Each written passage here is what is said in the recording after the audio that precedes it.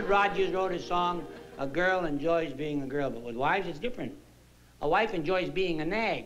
well, I'll tell you, my wife, Kathy, she couldn't wait. Couldn't wait till after the wedding ceremony. Right during the ceremony, she had to start nagging. When I said, I do, she said, oh, you do, do you? and when we arrived at our home, our very first home, I picked her up to carry her across the threshold. She said, wipe your feet first. but I'll say one thing for my wife. She's very, very philanthropic. Charitable girl. She keeps at least a hundred department stores alive. I tell you, if she doesn't show up one day at Macy's, they send her a get well card.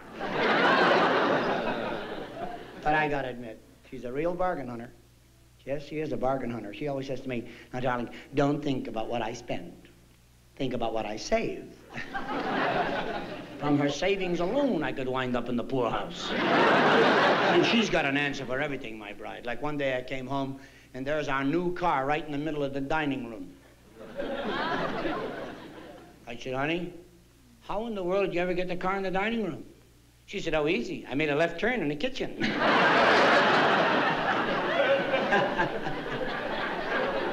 oh, that's my bride who said that. Oh, but I love her. well, no, when we were first married, she was, without question, the most beautiful bride in New York. And the worst cook in the world. no, I mean it. You heard about the woman who was such a bad cook she burned water? My wife burned the stove. what a bad cook. One day she came to me, she said, honey, how do you fix frankfurters? I said, how do I know? I, uh, I guess maybe the same way you fix fish. She said, oh, don't be silly. I tried that. She said, once you clean out those weenies, there's nothing left.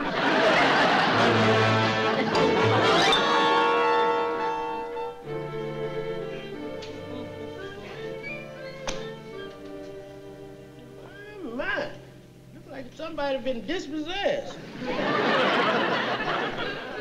morning, Louise. Morning. Oh, I didn't know we had company. Well, from the looks of things, today he's just a friend of the family. It's Daddy. What's that? What do you want, honey? Ma, what's everybody doing in my bedroom? You're not in your bedroom. Why are you sleeping on the couch, Daddy? Well, mo Mother thinks she might be coming down with a cold, dear. she, she's not sure. She just thinks maybe she might be coming down and thought it'd be safer if I'd sleep out here so I wouldn't catch her cold, just in case she's gonna catch it if she's gonna catch it. Daddy's in the doghouse, isn't he? No, Daddy's not in the doghouse, isn't he?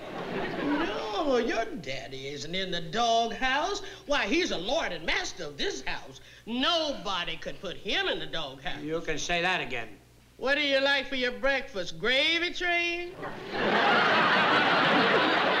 Now, you cut that out. Oh, Miss Williams, hello. How are you? Good morning, Mom. Good morning, everybody. That is almost everybody. Now, look, you. Oh. Look, why don't you take the kid in and make her breakfast, huh? Yeah, come along, Linda. But I already had my breakfast, Louise. Growing children can't have too many breakfasts. Now, you come on. Oh, gee, I want to watch the fireworks. You can wait for the fireworks till the 4th of July. Come on here. Okay, wise guy. What's the big joke? What's the idea of locking the bedroom door last night? Oh, did I do that? I must have done it absent-mindedly. How thoughtless of me. I don't know. You must have given it some thought when you yelled, stay out, you rat. After what you did to me last night, rat is a compliment. What'd I do to you? What'd I do to you? I was never so humiliated in my life. Humiliated? What for? What for? Do you think I enjoy being the butt of your so-called jokes? You mean that's what you're... Ah, honey. Don't you honey me. For crying out loud, just because I told a couple of jokes, there's no reason to declare my bedroom off limits. I wasn't talking about you anyway. I was talking about wives in general. Talking about your wife, Kathy, doesn't sound very general to me. Okay. oh, come on, Clancy, cool off.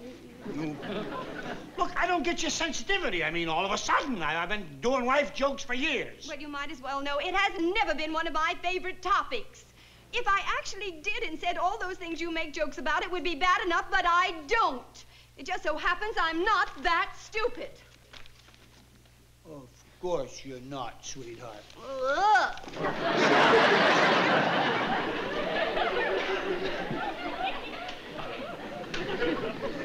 Honey, I'm a comedian. I make people laugh. Now, what is comedy? Burlesque, making fun of the original, right? I mean, exaggerating reality, getting people I to am identify in no them. mood for a lecture on comedy. And I still don't think our personal life should become a part of your act. Every comic gets his act from personal life, things that happen to him with his wife, with his kids. It has universal appeal because it happens to everybody. Well, aren't there nice things that happen in our personal life? Nice things I do that you could talk about? Nice thing? you want me to get laughs with nice things? Oh, great. I'll be a smash. Good evening, ladies and gentlemen. Let me tell you about my nice wife. Oh, boy. When she makes a bed, it's neat. Some laughs I'm going to get with that. People are going to say, oh, boy, let's hurry back and catch that performance. It's great. Nancy, this is silly. What are we fighting about? I forgive you. Give me a kiss. I still don't like the idea of people thinking of me as a character. Nobody thinks of you as a character, Irish. Now, they know I make up all that stuff. Really, they do. Well, I'm not so sure. People are very gullible, you oh, know. honey, when I talk about you, they don't think of you as you. They know that I'm talking about wives in general. Well, That's my girl. just the same, honey, I don't think that you should talk about me that way. You're making a big thing out of nothing. You've been married to a comedian for years. You ought to know this racket by now. Well, I suppose That's so, but... my girl. No, I think that there are other ways of telling those kind of stories. Kathy, I, I'm surprised at you. I had no idea you would take it this way. Not you. Well, Oh, just the same, honey, there must... Kathy, now this thing is silly. I don't know why you're taking it personally in the first place. Well, maybe I do take it too personally. I don't know, but I just don't like people to think that you don't love me and all I we don't is fight you. all the time. I got written, I love you all over my face. I love you with all my heart, and keep your hands down. Just what I needed now, a phone call. Hello. Who? Put him on. Howard Blake. Guy does interviews on television. But he wants me for his show. His rating must be slipping. Hello? Hey, Howie? Yeah, how are you? Fine. Look, I'll save you a lot of time. If you want me on your show, you got me on your show. You don't want me on your show. To what do I owe the honor of this call? My wife? Oh, just a minute. Blake wants to talk to you. Are you in? Me? What does he want to talk to me about? I don't know. The answer's on the other end of this wire. No, it. How do I know? Hello, Mr. Blake? Yes, it is. Mm-hmm. Oh? Oh, is that so? Oh, you really think so, hmm? I see. Uh-huh. Is that really what they're saying? Well, that's very interesting. Mm-hmm. well, yes, indeed, I would be very glad to. I certainly would. And thank you very much, Mr. Blake. Goodbye.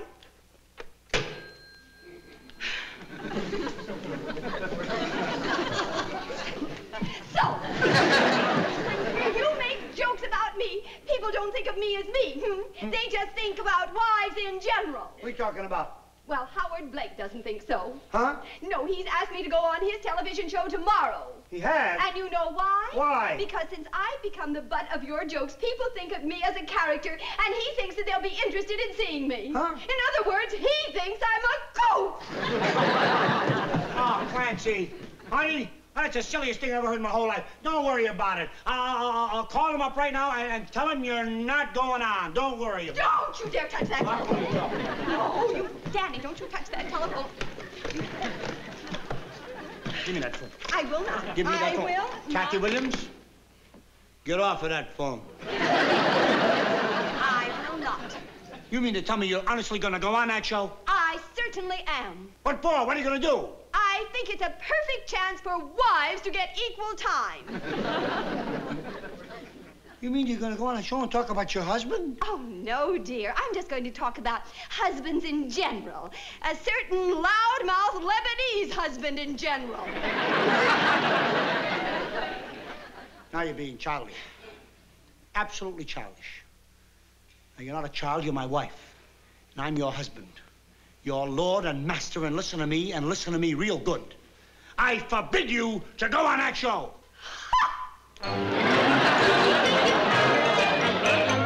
Kathy, please don't go on the show.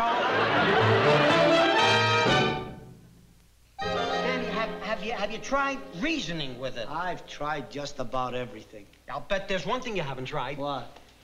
The best of all, What? the simple, honest approach. What? Bribery. Sure. What kind of a suggestion is that? Is that any basis for a marriage? I mean, after all these years of love and devotion and understanding, a man has got to buy his wife's loyalty with a bribe? I tried it and it didn't work. Wait a minute, Danny. Wait a minute. What is all the panic about? Ah, I mean, let us review the situation. yeah, let us. Your wife is going to be interviewed on a television show. What is she going to say about you? Plenty. Come on, Danny, we're talking about Kathy, your wife, Kathy, not Milton Berle with the ad libs. Huh? I mean, how sharp can she be with the wise cracks? Hey, Shallow, Yeah. you got something there. You're so right. Hmm. When that red light goes on that TV camera, she will freeze up like a clam. Ah, she won't be able to open her mouth. She'll be so nervous she won't know what to say. After all, it, it's not like she's got a rider or anything. Oh, Buddy, you're a wonderful writer. You have loads of material there. Yeah, sure. Fine, fine. Don't worry, it's gonna be great. Oh, Buddy, now you've got to promise me that you'll rehearse me in how to read these lines. Honey, I will rehearse you so good, you get out there, you will murder the people. Oh, I just want to murder Danny. Well, look who's here, the Lebanese Ed Sullivan. What are you doing here? What do you mean, what is he doing here? He lives here. What? Speaking of what's he doing here, what's he doing here? Well, um, uh, uh, uh, Buddy, I'm talking to you. What are you doing here? Huh? Oh, oh, don't bother me. I'm busy. I'm writing. I don't remember giving you any assignment to write for me. I'm not writing for you. I'm writing for her. For her, what for? Well, for one thing, she's prettier than you are. he's writing some material for my appearance on the Howard Blake show. Yeah. For the... You realize she's going on that show to knock me? I know. You know! Yeah. And you're still gonna do it? Sure, and you know something? You make a pretty good subject. uh, my husband is so egotistical, he even got a mirror on the ceiling in his bathroom so he can watch himself gargle. Oh, it wasn't that funny. Yeah. And you know something? You are another Benedict Arnold. Who's he write for? Oh, never mind. Doing your corny jokes. Oh, Kathy, I'm surprised that you'd pull a trick like this, getting my own writer to work against me. Now, wait a minute, Danny. Don't be so quick to accuse Kathy. Buddy, this is a pretty sneaky, low-down trick. And it takes a certain fiendish, diabolical mind to come up with a thing like that. All right, Bunny, why'd you do it? Because this is war, that's why. And you don't go to war without ammunition. Yeah, you know how you lose a war? By having your supply line cut off. and I can have your supply line cut off like that. Oh, you think so, do you? I know so. Hey, Two-Face. I'm Two-Face? Yeah, and I don't like either one. Kindly recall you have an exclusive contract to write for me, therefore you cannot write for her. Yeah, I got an exclusive contract to write for you, but for nightclubs. She's going on television, and you don't have an exclusive contract for me to write for you for that. We don't have him for television. How come? You said he wasn't good enough for TV. I said that. Verbatim. Three years of grammar school and he speaks Latin. I think he's wonderful for TV. Yeah, and I'm doing a pretty good job writing for that Alan Brady show. I'm glad you brought that up because I think that's the only job you got right now. You won't be writing for me anymore. Oh, swell, Danny. Oh, wonderful. Just uh, go, go ahead, throw your weight around. Yeah, two-face, two-face, in there. Picking on nice people, poor, poor defenseless writers, underlings. Do you know what you are, Danny? You are just plain mean. Charlie, I am leaving. Da- Danny? Danny, you are a mean man! I'm, I'm married to her, not you.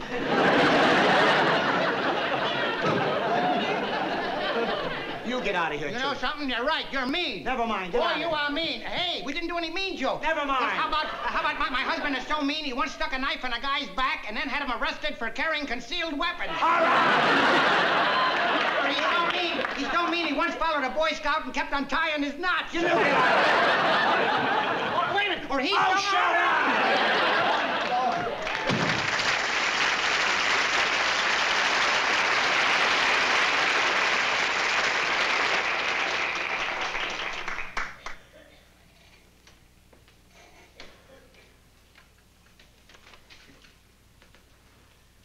My husband is so dumb. My husband is so dumb, he thinks the best way to catch a rabbit is to hide in the grass and make a noise like a carrot. You're gonna say that about me? I don't even know what a carrot sounds like. Kathy, you, you can't say these things about me. They're not true. Oh, darling, of course not. But you remember about comedy? You have to exaggerate to be funny. It's what uh, we in the business call comedic license. We in the. Now look, Kathy, I know, I know you're sort mean, you want to get even, but you're getting carried away with all this. You're just not thinking, little girl. Do you realize you go on television and, and knock your husband, make fun of him in front of all those people? You're gonna make me the laughing stock of the whole country? Oh, darling, don't be silly. They won't think of you as you. They'll just think that I'm talking about husbands in general. You're, you're really gonna go through with this, huh? I certainly am. Okay. Go ahead. Go on, have your big moment. Go on television and, and make fun of me. But just remember, when you're up there knocking me, you're knocking a guy who loves you with all of his heart. A guy whose only thought is what's best for you. Your husband. The man that you promised to love and, and who you took for better or for worse in sickness and in health. Until death do us part. I'm, oh, I'm sorry. You are? Yes, I, I'm sorry, Buddy didn't do more jokes about what a bad actor you are.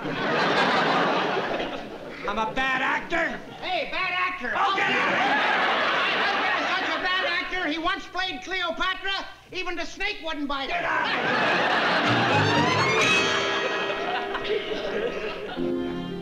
Charlie, get away from the set. Don't turn it on. Danny, will you stop it? Just because you're not going to watch it, don't mean it'll go away. now, come on, watch it. Take your medicine like a man, and I suggest you fasten your seatbelt. It looks like we're in for a rough trip. That's all I need is jokes from you. I'm gonna get hit by thousands of them in a second.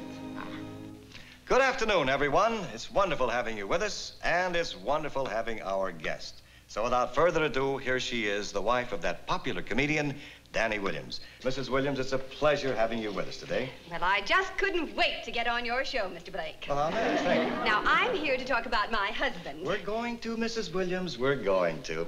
Folks, I don't know how many of you have caught Danny's act at the Copa Club in New York, but he has a routine about his wife that is hilarious. And the jokes that they do about Mrs. Williams here have been appearing in the columns lately. So you are a personality of your own. Yes, so it seems. All right, Mrs. Williams, let's talk about you. Oh, really, I'm not important. I'm here to talk about my husband. Now, my husband, when he gets up in the morning, is oh, without wait, a just doubt... a one Mrs. of- Just a minute, Mrs. Williams. I can't go along with you about being unimportant because, in my opinion, he is the luckiest man in show business, having you as his wife. You see, you are a wonderful source of material for him. All those things you do and say, they're wonderful. Oh, well, you don't really believe that I do and say all those things. But you should hear my husband, especially when he gets up in the morning. He was, without a doubt, Now, there's one no of the... reason to be modest, Mrs. Williams. Now, look, I think you deserve a lot of credit. You have a sense of humor, and this is a rare gift. Well- it's certainly paid off for your husband. Well, I'm really not that funny, but my husband, now, if you would just see him in the morning, when he gets up in the morning, he Now, is without We know, I know that we know that some of the things he says about you are just a little exaggerated. I'll go along with that. But overall, I am sure that you are the inspiration for all the wonderful, warm humor that Danny is known so well for. I am? Oh, I assure you, Mrs. Williams, I mean it. You see, we in the business envy your husband very much because he has a wife that's not only beautiful, but a helpmate in his work. Me? Yes, you, Mrs. Williams. so often, people, the wives of people in the spotlight are just simple, average homebodies. But you, you are a personality that sparkles. You just bubble with wit. I do? Mrs. Williams, you are wonderful. Oh, well, thank you. Do you mind if I uh, ask you just one little question? Oh, no, you can ask me anything you wish. You know, when uh, Danny makes you the butt of his jokes, don't you resent it just a little bit? Oh, good heavens, no. You know, my husband really does have a great talent for taking some ordinary little thing that I might do any day and making it sound funny and unusual. Well, like, for instance, the time I lost the car keys in the tuna fish salad. You don't see anything unusual about losing car keys in tuna fish salad? Oh, certainly not. Now, when Danny came looking for the car keys and couldn't find them, he blew his top. And he said, How do you expect me to drive the car without any keys? And I told him, darling, don't worry. I always keep an extra set of keys around the house somewhere. And you know where we found them? We found them in the mashed potatoes. Mashed potatoes? Yes. Well, now, Danny took that very simple, ordinary little situation, and he made it sound like something ridiculous.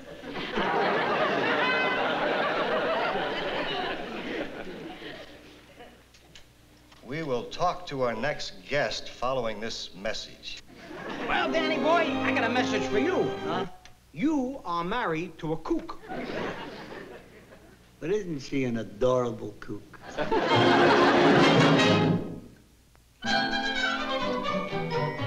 honey, I'm so glad you're home. Oh, the funniest thing happened to me today. What? Wait till I tell you. What? Well, this is even funnier than yesterday. It is hysterical. I know you're going to want to use this one in your act. Oh, Kathy, not again. Oh, honey, listen. On the way home today, I at 59th and Madison, I went right through a red light. Oh, that's a riot. Honey, that's not the punchline. Oh? No. An officer stopped me, and he said, show me your driver's license. Well, I looked all through my purse, and I didn't have my driver's license. So you know what I said, darling? I said, officer, with all these credit cards, do I have room for a driver's license? Aren't you going to write it down? I'll remember it, honey. Darling, you might not. You better write it down now. why don't you stop punching with the routines and the jokes, sweetheart? Well, I'm just trying to help you with your work. You really want to be my helpmate. Mm-hmm. Would you really like to collaborate with me? Oh, yes. Well, let me show you how. Mm, mm, mm, mm, mm, What's the mm. matter? I just thought of one. For crying out loud!